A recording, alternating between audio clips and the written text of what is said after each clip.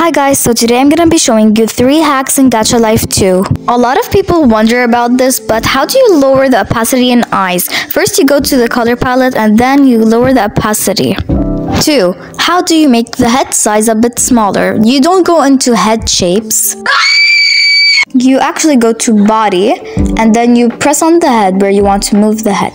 Then you lower the scale and there you have it.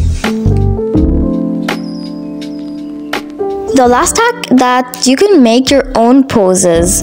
First you go to like find an empty plot pose and then you press on it.